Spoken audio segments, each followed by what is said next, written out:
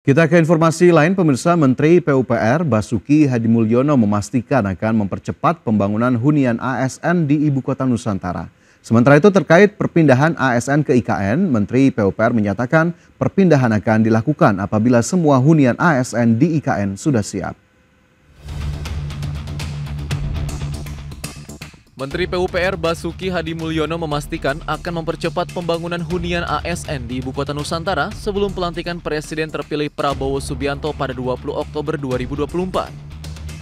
Sejalan perkembangan pembangunan apartemen ASN, Menteri PUPR juga memastikan pihaknya tengah melanjutkan pembangunan gedung dari kementerian-kementerian koordinator yang ditargetkan bisa rampung pada Oktober 2024.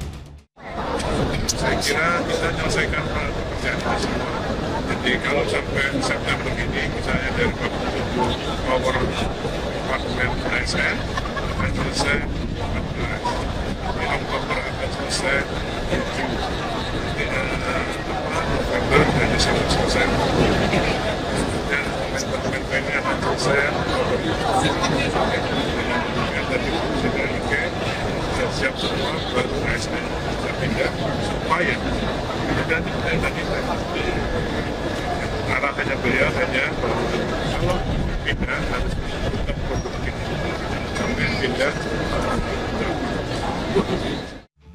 Lebih lanjut, Menteri PUPR mengatakan, apabila nantinya semua hunian sudah siap, Presiden akan mulai memindahkan para ASN ke IKN agar tetap produktif.